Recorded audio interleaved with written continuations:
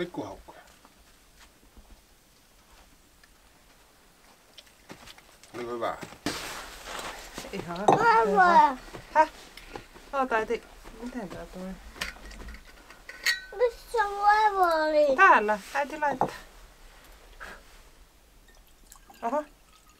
No. Eli kun oli niin, kato kun mä otin punaista, niin tulikin niitä ve- veeväristä. Niin, Tää, tää voi olla vähän kuuma, anna se jäähtyä.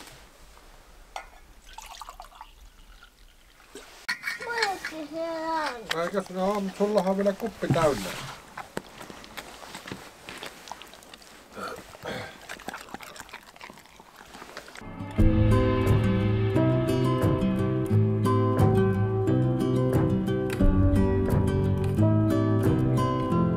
Sitten Lidli hakee Runeberin torttuainekset ja tälle päivään syötävää.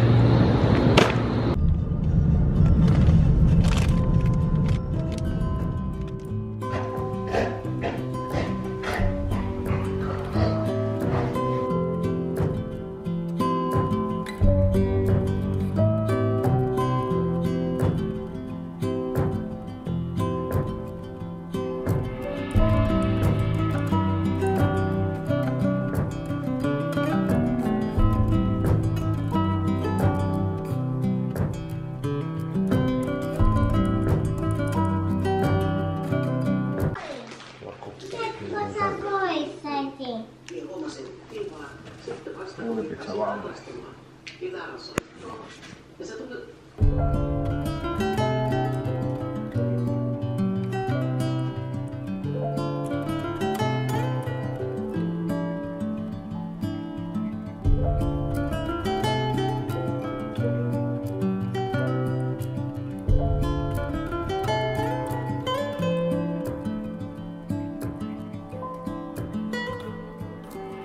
Kita iltakävelyllä.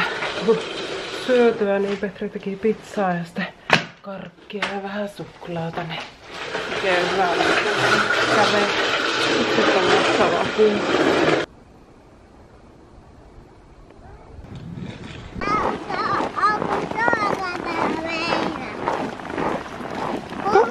Koko! Kylläpä kuu valaas.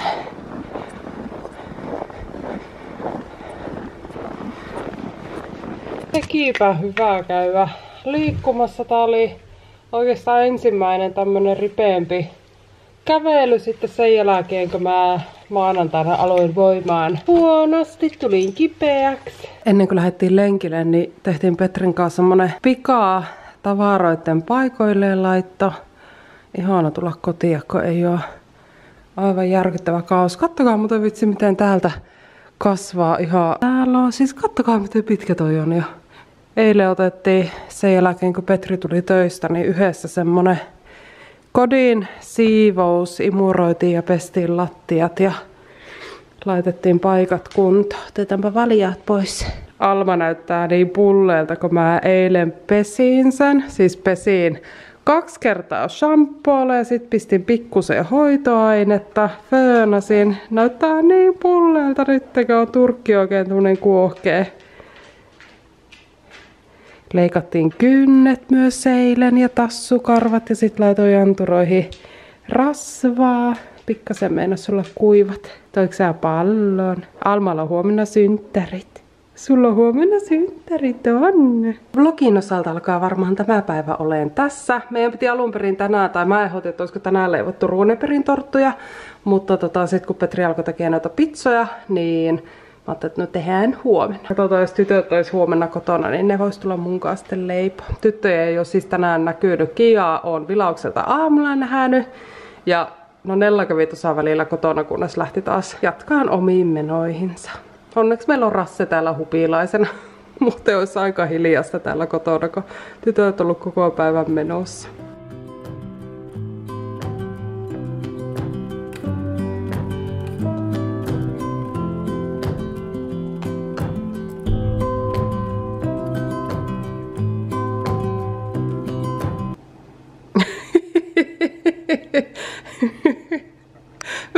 Sä nukahtaa siihen pallosuussa? Että sä oot Alma huvittava. Elän. Ei että.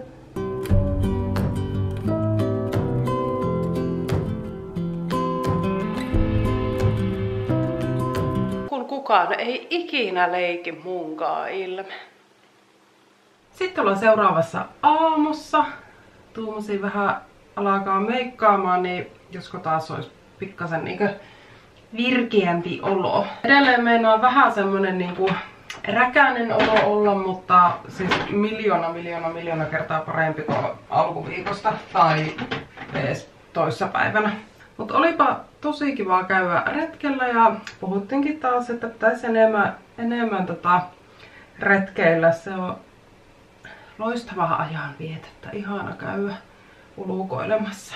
Tuossa aamulla, kun kahvia join keittiön pöydän ääressä, niin kirjoittelin vähän lisää, lisää juttuja tuohon mun kilometrin mittaiseen to-do-listaan. Ja nyt ajattelin, että mä tänään ollaan purkamaan sitä listaa. Muun muassa nyt mä haluaisin noin kukat laittaa ja mitäs kaikkea muuta. Keksee myös lisää siihen listaan te- tehtävää, muun muassa pakastimen siivous. Sitten leivotaan niitä ruuneperin torttuja. Ja tänään on Alman synttärit. Pitäisikö ostaa Almalle joku lahja. Se on reppana kuljettanut kaikki nuo sen pehmoleluusat tonne pihalle. No nehän on jäänyt sinne lumealle ja jäätynyt, niin mä ajattelin, että jos kävis ostaa jonkun pehmo vaikka.